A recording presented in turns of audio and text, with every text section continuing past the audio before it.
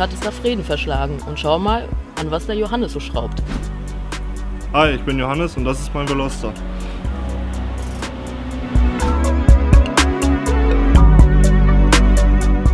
Wie bist du auf die Track and Safety Days aufmerksam geworden? Äh, durch das Nigrin Pflegetesterprogramm. Da wurde das auch beworben, dann habe ich mir das durchgelesen und äh, mich dann direkt auch beworben dafür.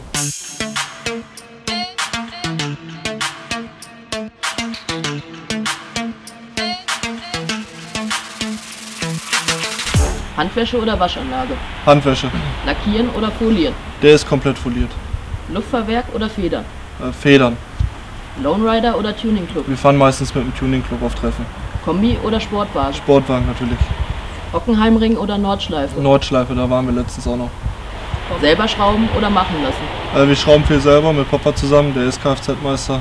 Das spart auch Zeit und Geld.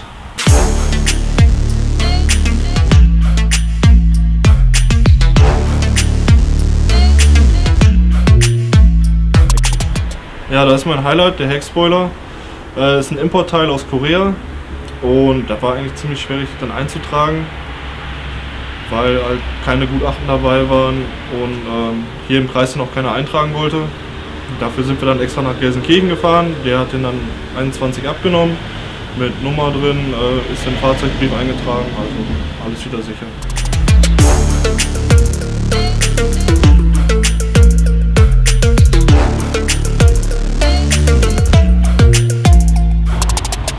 Ja, ich habe den Spoiler hier aus Korea importiert und hier im Kreis wollte sich den erst kein Prüfer anschauen.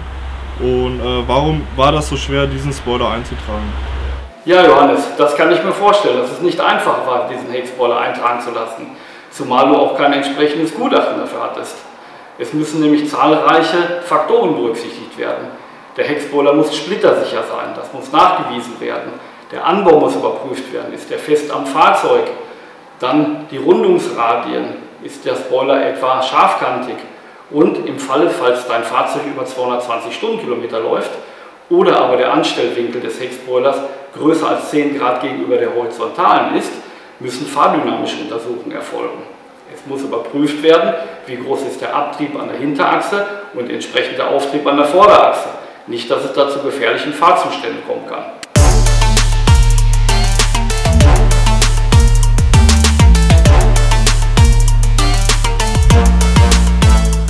Würdest du die Track and Safety Days weiterempfehlen? Ähm, eigentlich jedem Tuner, damit man auch mal merkt, was man mit den Autos macht. Ob man die tiefer legt, breitere Felgen drauf, einen Spoiler hinten drauf, damit man auch mal merkt, was man da genau macht.